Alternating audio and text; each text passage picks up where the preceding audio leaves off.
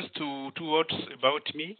So I'm Bader Mahaman, uh, Sustainable Agriculture Senior Advisor at Action contre la faim or ACF.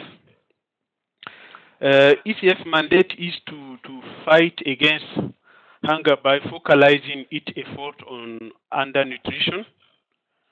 To, to achieve its, its mandate, ACF uh, follows uh, a multisectoral and multidisciplinary approach uh, to undernutrition by mobilizing uh, different uh, sectors, including nutrition and health, food security and livelihood, uh, water and sanitation, etc.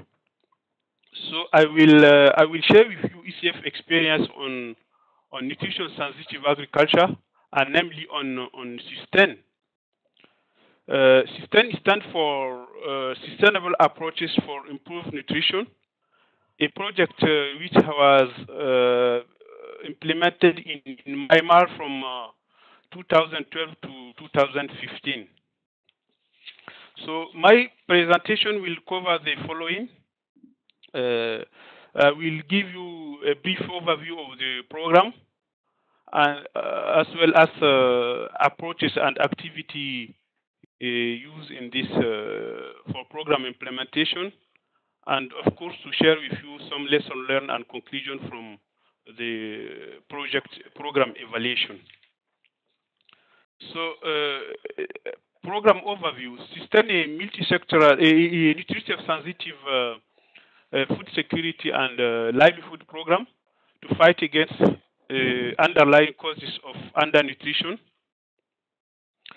Uh, its main objective is to improve the nutritional status of uh, vulnerable population in five regions of uh, Myanmar uh, through a sustainable and uh, increased consumption of micronutrient-rich uh, rich food and enhanced practices of optimal nutrition and care.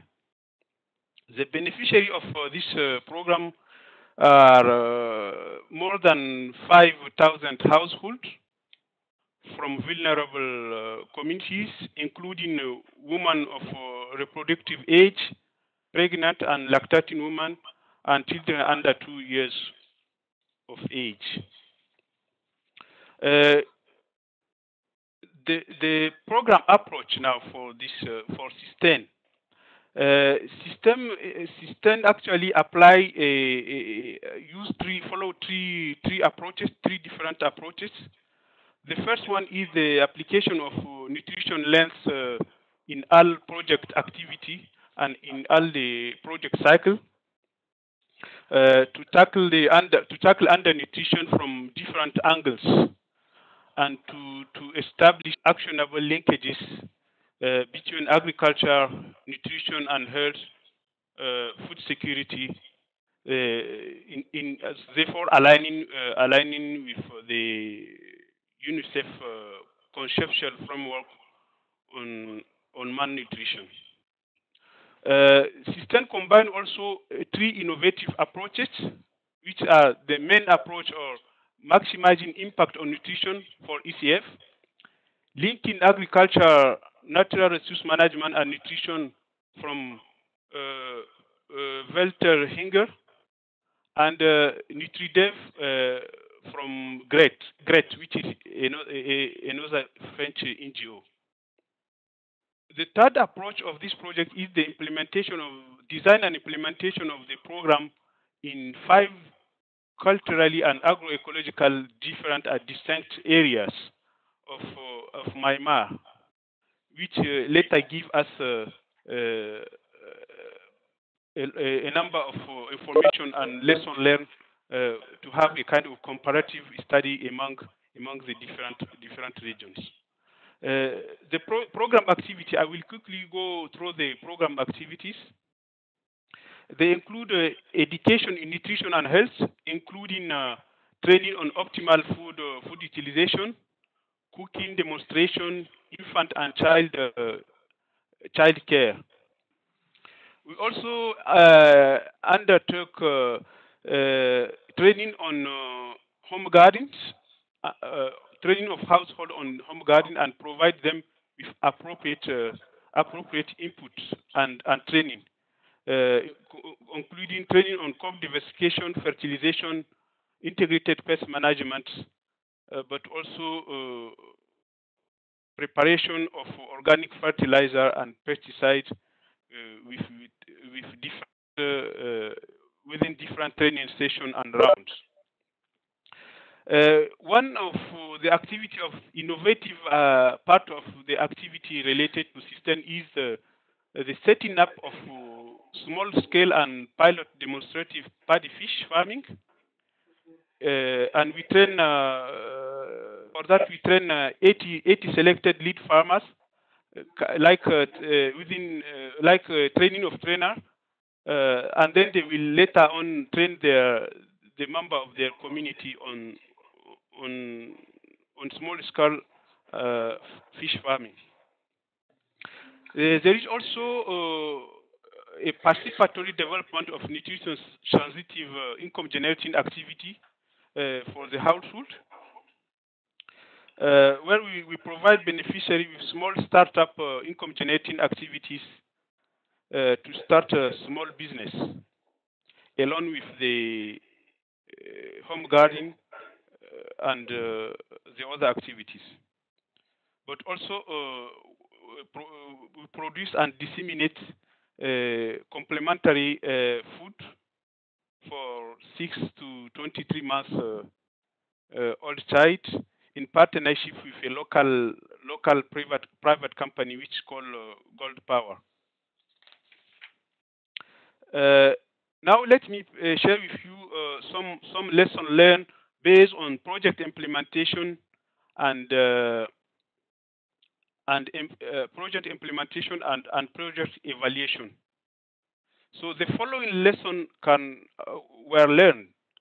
The first one we can say that uh, uh, training on household uh, of the household on home gardening practices help women in promoting health gardening within their community very effectively. The crop diversification um, part of the activity improve the consumption of micronutrient-rich food and other indigenous uh, food uh, uh, all over the year. Uh, the paddy fish farm improve consumption of, of protein-rich food, increase yield, and uh, generate uh, extra income from paddy fish farming, meaning that uh, showing that the agricultural intervention can also can can impact on nutrition directly through, through own production and consumption, but also through selling uh, in the market to to to uh, to raise more income. Uh, another another lesson is that the market linkages between uh, home garden and, and, and nutrition sensitive income generating activities improve financial access to other micronutrient rich food. And last, we have uh, effective capacity building of woman group and stakeholder because we, we create a woman group because uh, the, the project has a, a very big gender component uh, we, we create women group and build their capacity on different uh, aspects on, of nutrition sensitive agriculture. Uh, uh, other, other lessons learned are related to, I will say even uh, that are related to some of the limitation of the project. Uh, these limitations include, for example, the issue of some projects result which are not achieved, mainly uh, relate, relate, result related to, to the production of the fortified complementary foods. Also, there are some questions raised, uh, raised regarding the sustainability of the income generating activity, but also in some region of the home gardens, because uh, we are concerned about since the, now the projects uh, end, end in December 2015, so we have some concern about the sustainability of the uh, income generating activity, but also of the home gardens in some areas, as I said earlier. There are also some difficult uh, difficulty in in terms of uh, in coherence with uh, government view. Uh, as uh, as in Myanmar, government consider see see, see uh, nutrition as a health issue, health issue, and uh, and link are not uh, clearly made to agriculture and education. And also, there is a kind of we, we as a limitation, we can say we can also include lack of understanding about the nutrition sensitive nature of the program in, in some, some, some areas of project implementations. But despite all this, uh, there, there's few limitation.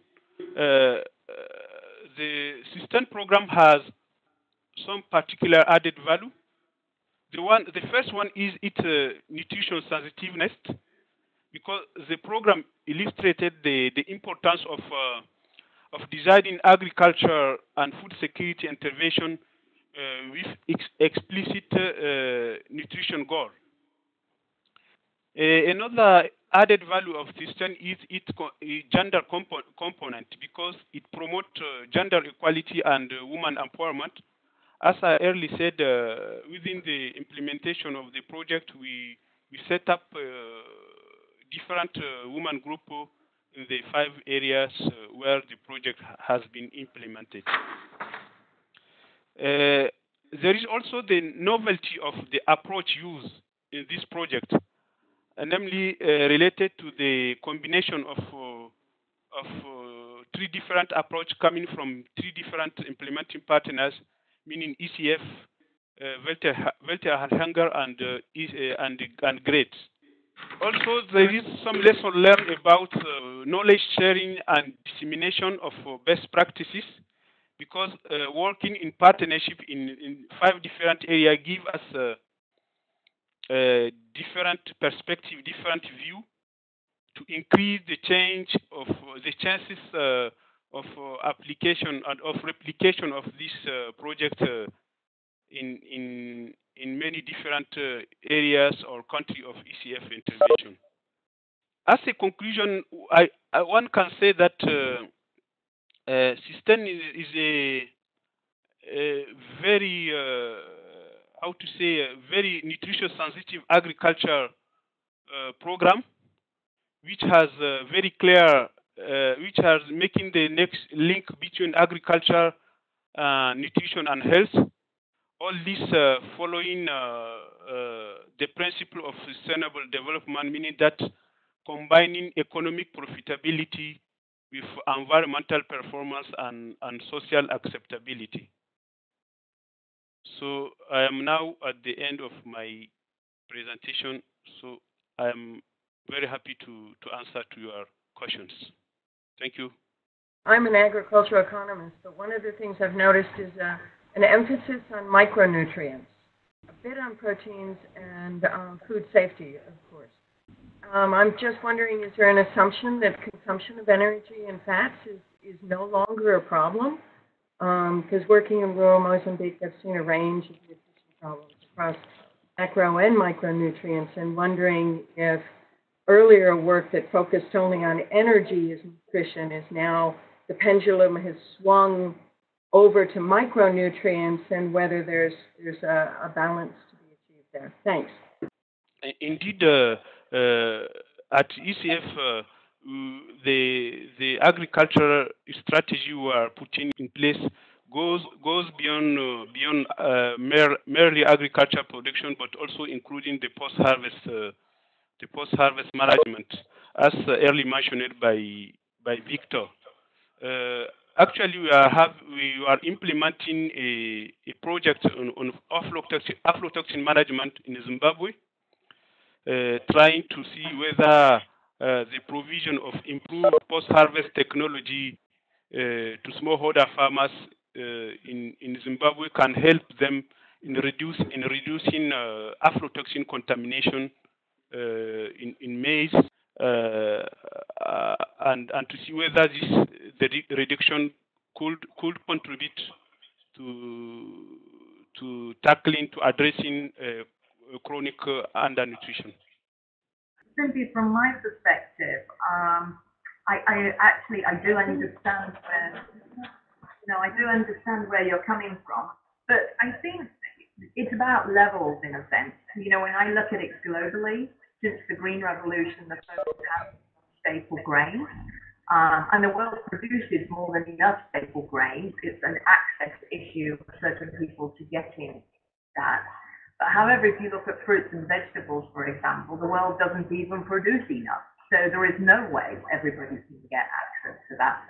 So I think, you know, upstream for me at the research level, there needs to be some prioritization of other crops, albeit I accept that on the ground level, it, it is about people do have to have their bellies filled by staple grains, but we also have to put in that, that better diversification of um, improve nutrition if you continue to overproduce staple grains and they're relatively cheap compared to more nutritious foods, then the food industry also uses relatively the cheapest foods possible to get the um, the foods out the other end. So you also sacrifice there.